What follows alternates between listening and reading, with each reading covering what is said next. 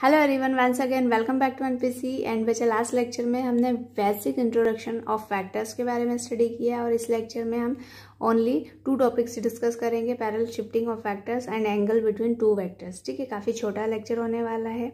And ये जो आपका लेक्चर है, आज का लेक्चर नंबर सेकंड ये आपका लेक्चर थर्ड से कनेक्ट करता है। इसीलिए हम इन टू पॉइंट्स को पहले कवर करेंगे, पहले सीखेंगे एंड देन आप लेक्चर थ्री पर जाएँगे। ठीक है? So parallel shifting of factors क्या होता है? पैरल शिफ्टिंग ऑफ़ फैक्टर्स जो है, आपका जो फ़र्स्ट पॉइंट है parallel shifting of vectors shifting of vectors क्या होगा?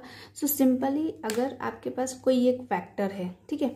ये आपका वेक्टर ए है इसका कुछ मैग्नीट्यूड है और एक पर्टिकुलर डायरेक्शन है।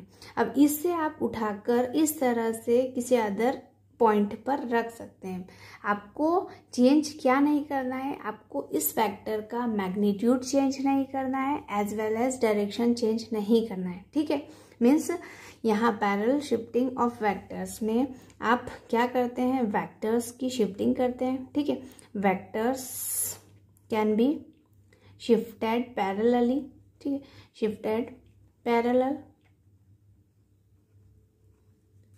and shift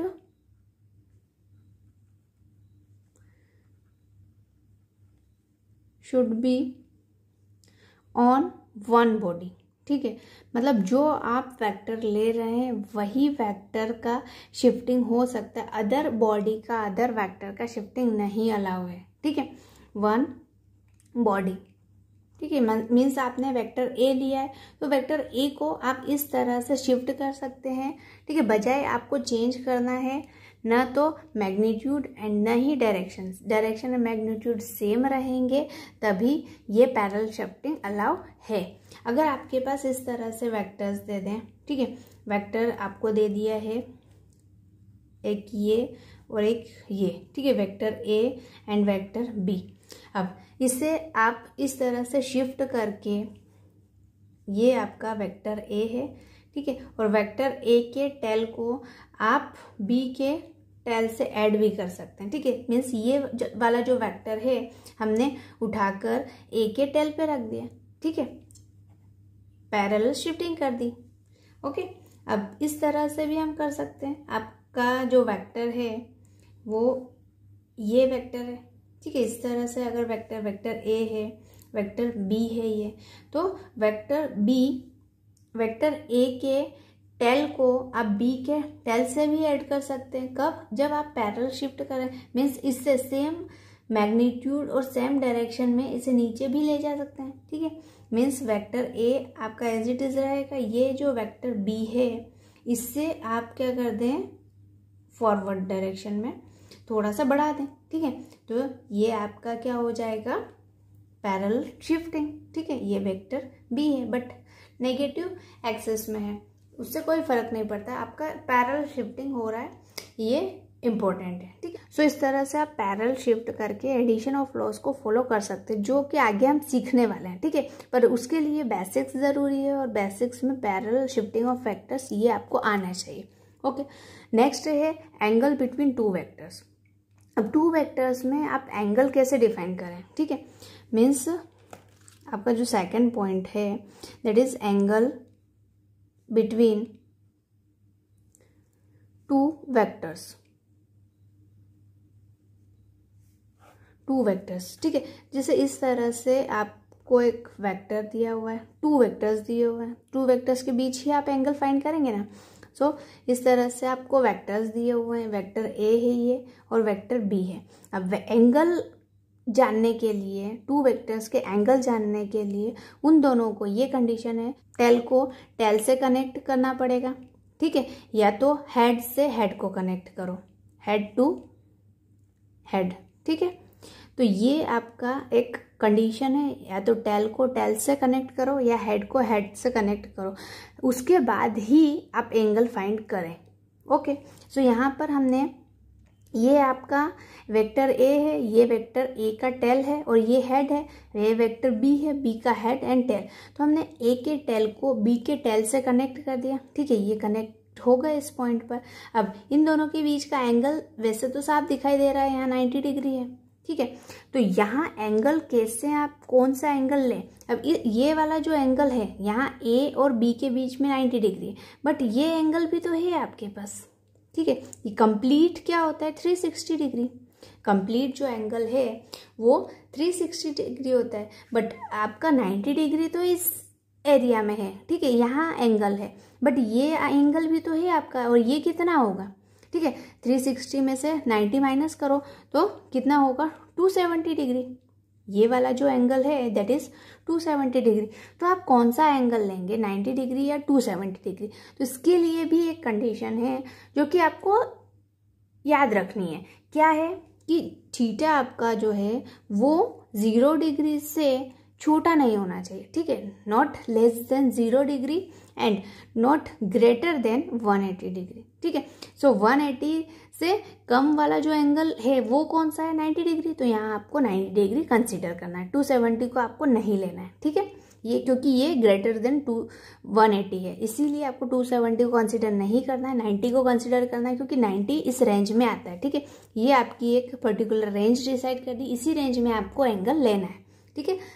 ओके आपको इस तरह से कोई वेक्टर दिया है? Vector A and vector B. अच्छा अब इसमें आप एंगल डिफाइन कर सकते हैं। नहीं, क्यों? क्योंकि या तो आपको टेल से टेल कनेक्ट करना होगा या हेड से हेड यहाँ टेल से हेड कनेक्ट है। तो पहले तो आप इसकी पैरल शिफ्टिंग करके इसके जो रिप्रेजेंटेशन है, पहले वो ठीक करते हैं और उसके बाद में फिर एंगल फाइंड करते हैं। ठीक है? तो कैसे करें रिप्रेजेंटेशन तो इससे एंगल ए ले लिया आपने सॉरी वेक्टर ए ले लिया और वेक्टर बी का वेक्टर बी का आपने पैरल शिफ्टिंग कर दी। पैरल शिफ्टिंग मीन्स इस इस वेक्टर को आपने इस तरह से नीचे बढ़ा दिया, ठीक है? फॉरवर्ड डायरेक्शन में इंक्रीज कर दिया। ओके ये आपका बी वेक्टर अब देखिए बी वेक्टर की टेल ए वेक्टर के टेल से ऐड हो गई। दैट इज़ यहाँ पर आपको एंगल लेना है 90 डिग्री ओके तो ये आपका कंसिडर होगा क्या? 90 डिग्री ओके अब एक और एग्जांपल लेते हैं। हाँ ये आपका एग्ज़ाम्पल फ़र्स्ट सेकेंड अच्छा एक और एग्ज़ाम्पल ले लिया आपने। इस तरह से ये आपका वेक्टर बी है और ये आपका वेक्टर ए है, ठीक है? और इन दोनों के बीच में 120 डिग्री है। तो यहाँ भी फॉलो नहीं होगा क्योंकि हेड और टेल ये दोनों एड हैं, ठीक है? ये दोनों कनेक्ट है बट आपको तो टेल टू टेल या हेड टू हेड कनेक्ट करना है। तो हम क्या करें? इसकी पैरल शिफ्टिंग के थ्रू इस वेक्टर को आप पैरल शिफ्ट कर दें नीचे साइड ठीक है? तो इससे आपने क्या कर दिया? ये आपका बी वेक्टर है और इससे आपने पैरल शिफ्ट कर दिया। किससे? ए को। ठीक है? अब ये एंगल क्या होगा? बता सकते हैं? सिक्सटी डिग्री होगा। अच्छा इसमें कंफ्यूज हैं तो आप एक और तरीके से इस क्वेश्चन को कर सकते हैं। क्या कर सकते हैं कि ये जो बी वेक्टर है, इससे आप आगे कर लीजिए। ठीक है? इससे आप पैरल शिफ्टिंग कर दीजिए इसकी। अच्छा यहाँ पर ये एंगल कितना होगा? तो टोटल ये वाला पूरा एंगल 180 होता है तो ये आपका 60 हो जाएगा। ठीक है? ये 60 ये 60 सेम ही है। ठीक है? आपको पैरल शिफ्टिंग किस तरह से करनी ये आप पे डिपेंड है। आपका जो आंसर आएगा एंगल बिटवीन टू वेक्टर्स वो तो सेम ही रहेगा। ओके अच्छा नेक्स्ट क्वेश्चन लेते हैं हम। हम इस तरह से हमारा वेक्टर कनेक्ट है। ठीक है? ये आपका वेक्टर ए है and this is vector B और इनके बीच का जो एंगल है that is one fifty degree okay अब पैरल शिफ्टिंग करो। तो पैरल शिफ्टिंग कैसे कर सकते हैं हम? इस तरह से कर दो। ये आपका vector A and this is vector B अब ए को आप फॉरवर्ड डायरेक्शन में इंक्रीज कर दो। ठीक है? ये आपका ए वेक्टर इसका टेल बी के टेल से ऐड हो गया। ये आपका 150 डिग्री दिया हुआ था तो ये कितना होगा? दोनों वेक्टर्स के बीच का जो एंगल है, कितना होगा?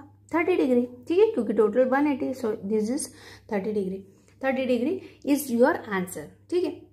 मीन्स आपको जो एंगल लेना है, वो टेल टू टेल के बीच में या हेड टू हेड के बीच में ही लेना है। ठीक है? आपको यहाँ जैसे ये वाले जो कंडीशन है हेड एंड टेल इनके बीच का ये 150 डिग्री एंगल ये नहीं लेना है टीटा की वैल्यू ये नहीं लेनी है। लेनी क्या है थर्टी डिग्री, ठीक है? मीन्स यहाँ angle between two vector is thirty degree okay and less than zero degree नहीं होना चाहिए एंगल नेगेटिव नहीं होगा, ठीक है? एंड 180 डिग्री से ग्रेटर नहीं होना चाहिए, ठीक है? 190 या 200 270 ये एंगल्स कंसिडर नहीं होंगे, ठीक? कंसिडर क्या होगा? 180 से लेस एंड ज़ीरो से greater okay so this is all about the parallel shifting and angle between two vectors अब हम नेक्स्ट वीडियो में इन दोनों टॉपिक्स पर बेस्ड हमारी ग्राफिकल मैथड्स करेंगे, ठीक है? एडिशन हम वैक्टर्स को एडिशन कैसे कर सकते हैं? With the help of graphical method okay so keep watching and keep learning thank you so much